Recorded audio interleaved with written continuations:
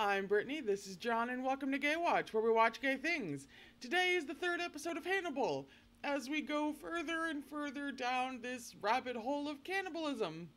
I've got bad wine and a reasonably strong stomach, so we're going to hit play. Oh, great, a flashback! Oh, we get to find out what exactly her role was! No, great, I was ready for this, this is fine. Oh. I mean, that would be me if I shot a fucking deer. But if she's that way about deer, she's not she's not going to handle any of this well.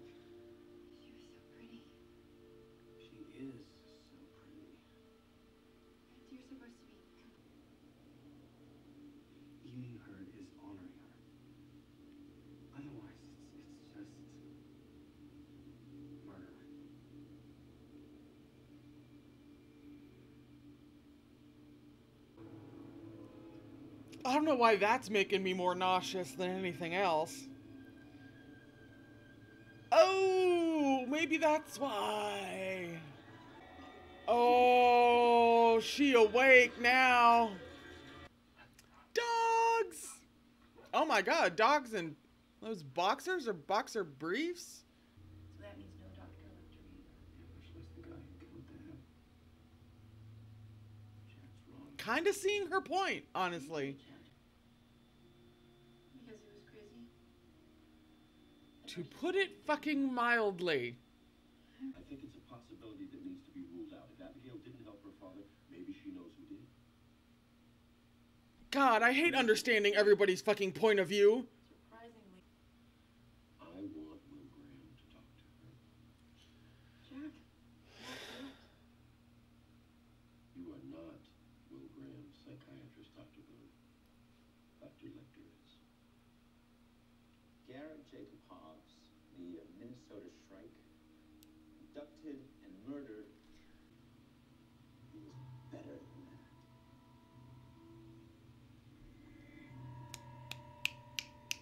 He is an intelligent psychopath. He is a sadist. He will never kill like this again. So how do we catch him? How do we catch him? Hmm. We need every good mind burns enough to recreate them and arguably elevate them to art. How intimately did you know Garrett Jacob? Oh, Hannibal's gonna take that compliment. Did he appreciate him from afar, or did he engage him? Did he ingratiate himself gonna take that compliment.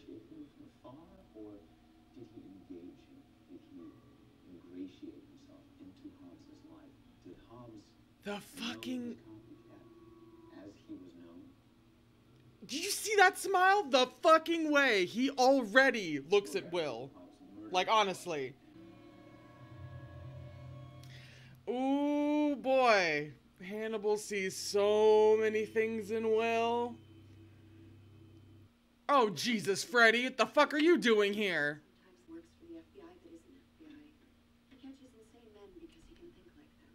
Great! Throw her out the fucking window. Do you excuse us, please? Special Agent Will Graham. Bitch! Sorry we couldn't tell you Oh, I just realized this is the first time we get Murder Family. we could, but Even if you have to do it. It feels that bad. Yeah, yeah. Hannibal's just craning in a little bit. Special Agent Graham. Mmm. Only introduce myself in Freddie Lounds. Trying to salvage this joke from the mouth of madness. Please. But I also think we both genuinely care about what happens to Abigail Hobbs. Oh, bullshit. Insane.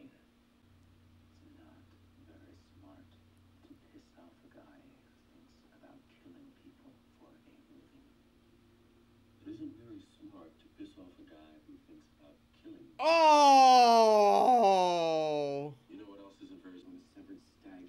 Oh. I mean, I knew he was probably a brother, but There's no comfort in that. not the brother of Stag Girl. Oh. But you have to. Her lack of sobbing is really interesting to me. What did it feel like?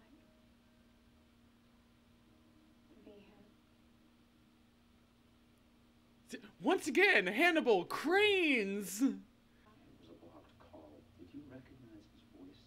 Oh shit, that's right. Was there anybody new? Oh shit, that's right. Someone who matters? All she's got to do is recognize his fucking voice. Hence why he hasn't fucking said anything.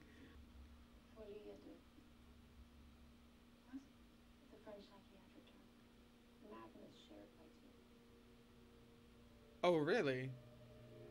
How many fanfics, how many Hannigram fanfics are called that? Ooh. Ooh. Do you think I did it? I don't think it'll take. I don't think she'd be here if she thought you did. Oh, Jesus fuck. Get her out of there? Yeah, yeah, like, remove her from the situation. come home. Can you stop being such a bitch? I don't know, I kind of stand Marissa at this point. Nightmare Stag! Oh. He was feeding them to us. Wasn't he? Probably. he would know.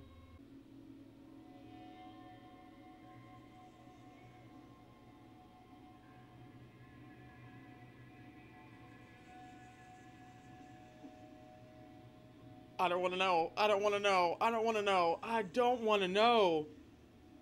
What would be fresh up there?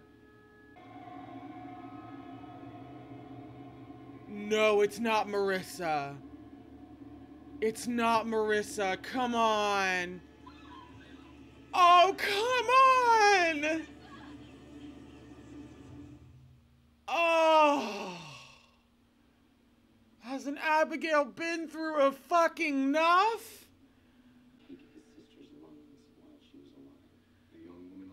That's true. It could have been the brother, but it was probably Hannibal.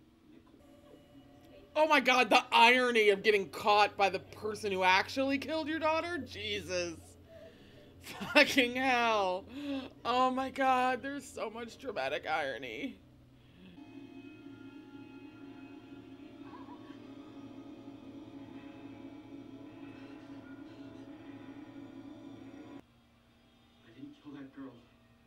I mean, we know that, but Abigail sure as shit doesn't.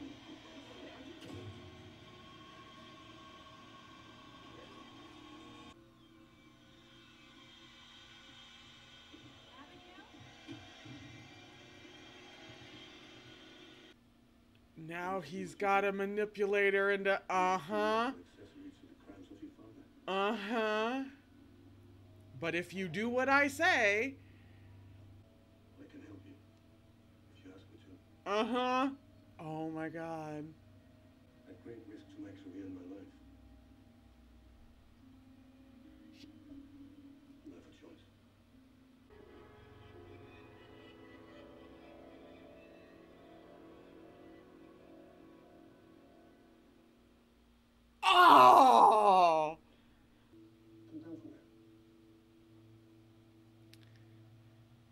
Yeah, complete the metaphor of descending into hell. Mm-hmm. Mm-hmm.